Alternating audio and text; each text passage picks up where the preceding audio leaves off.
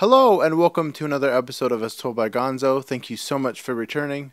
Today I'm going to be reviewing the movie Waves, directed by Trey Edward Shults, who also directed It Comes at Night. Waves just drops us in the middle of this family, and we witness their very highs and their very, very dark lows.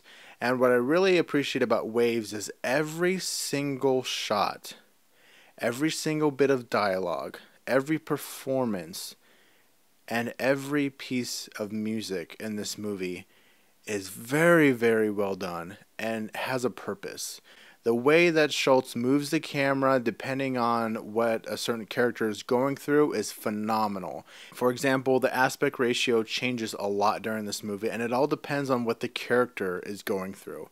It could go from like a flat 1 by 85 by 1, and then it quickly goes to a wide uh, wide, like a very much a widescreen format, like a two by thirty five by one, like a like an Avengers movie, very cinematic. But then towards the middle, it goes to a one thirty three by one, and that adds a lot of, I guess, uh, tension like done subtly that it just doesn't affect the viewing, but it has a really good impact once you go and rewatch it again. Kelvin Harrison Jr., who also worked on It Comes at Night, really carries the movie very, very well.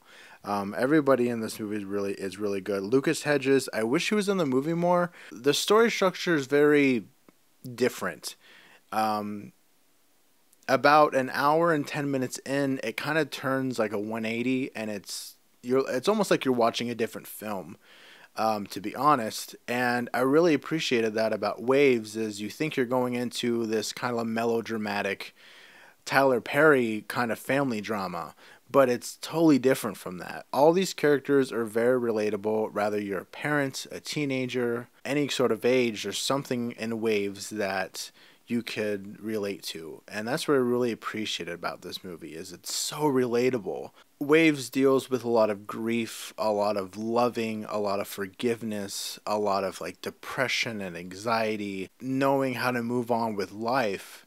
And just because something really bad happens doesn't mean that you should stop living. That literally waves no point intended life is like waves where it's you have your highs and your lows and it's all about grieving and moving on and life doesn't stop. Just because you have issues and you're going through something horrible and awful doesn't mean life stops. It keeps going on. Music is done by Trent Reznor and Atticus Ross.